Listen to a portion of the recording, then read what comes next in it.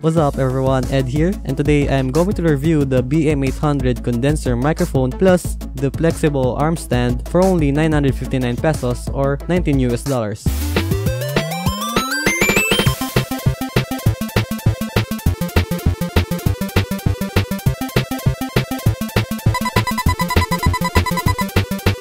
This is the BM800 condenser microphone and the flexible arm desk stand combo for only 959 pesos. Beside it is the 7.1 USB sound card which we'll be using to compare the sound between with and without using one. Yes, I am not using a phantom power supply to power this microphone. This video will be divided into 4 parts, the unboxing and the setup, the tutorial on how to get a great sound with this microphone, the sound tests, and my insights about this product. I'll be putting up the timestamps below in the comment section. So let's begin by unboxing the BM800 first. Inside the box, you'll get some documentation, a wind foam, an XLR to 3.5mm cable, a shock mount, and of course the BM800 microphone. Note that this microphone requires enough power to run since it's a condenser microphone. Apparently my first gen Intel motherboard supply enough power for this one, but in case your PC doesn't, then I suggest getting a phantom power supply or at least a USB sound card. Now for the flexible arm desk stand, you'll get a clamp, a screw, a microphone mount, and the flexible arm stand.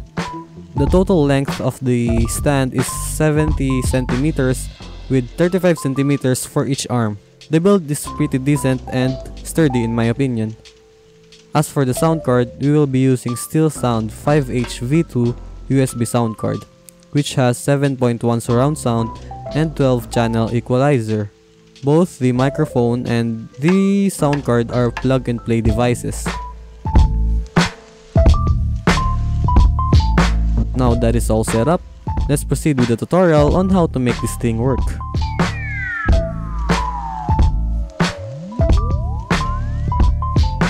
I'm going to show you how to configure the mic after you plug it in in your motherboard. Uh, head over to the tray icons, right click the, the volume tray icon here, and then choose recording devices. Now if you got multiple recording devices here, find out which ones are BM800 and then click properties.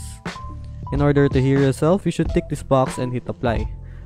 Head over to the next tab which is the levels and your mic mic boost might be at 0 dB all the way here. Uh, change it to, a, to a higher gain and you should hear yourself now. Uh, adjust these sliders to your preference. Me, I personally like uh, plus 20 dB boost and the mic volume is set at 70%. That way I could lessen the background noise. Now if your motherboard isn't able to boost your microphone, then that is the time where you should get the sound card. Also, one more thing, uh, head over the enhancements tab and you should, uh, you could uh, experiment on these settings. I don't like them, so I disabled them all. But if this works for you, then good for you. Now I'm going to show you a trick when you are recording in OBS. Uh, one trick I find useful to get rid of those background noise is to add a noise suppression filter in your micro microphone. Just right here. I currently got it uh, enabled here. Now, if I turn it off, you should probably hear the noise, my background noise, because of the air conditioner. Now, uh, adjust these sliders to your preference again. So, just do not make it too hard. Uh, one more thing, if you move the sliders to the left uh, it will make the effect much stronger. If you move it to the right it will lessen the effect. So uh, configure it correct correctly so that your voice don't end up sounding like a robot. You can also add a noise gate here. So it doesn't record much noise when you are not talking. So that's it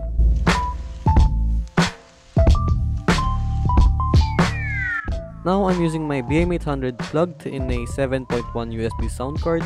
I don't really recommend getting one just for the sake of your microphone, but you can really notice the improvement when you're using an earphone or headset.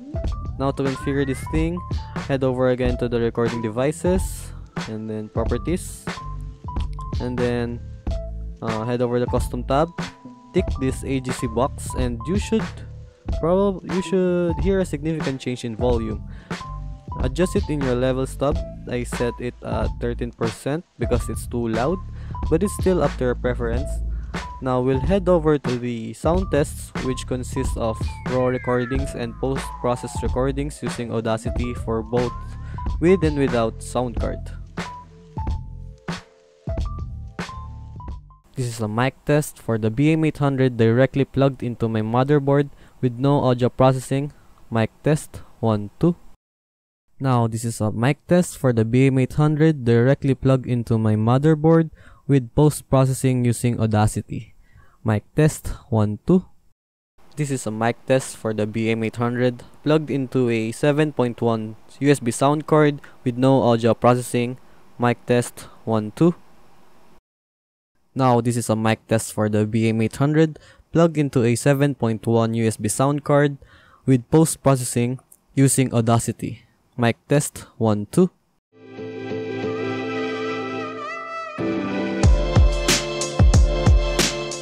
Now, for my thoughts about this product, the BM800 picks up a lot of background noise, especially if you didn't set the settings correctly. The scissor arm stand is incredibly short, although it is enough for me since I only have a small room and my desk is just a few feet away from me. Other than that, I honestly think that this product is a good steal, especially for its price of 959 pesos or 19 US dollars. You get both the BM800 condenser microphone plus the desk stand. Normally, you'd get each one of them for 700 pesos each, so you save 400 pesos with this purchase. As for the 7.1 USB sound card, it costs around 250 pesos but there are a lot of cheaper options out there.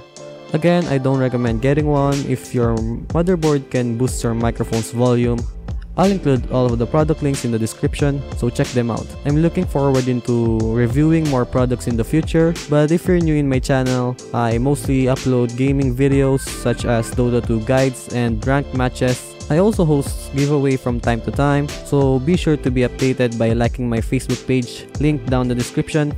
Thank you so much for checking out my review. Tell me what you think about this product in the comment section below. Like this video if you find this helpful, subscribe if you want more. Thanks for watching guys. Peace!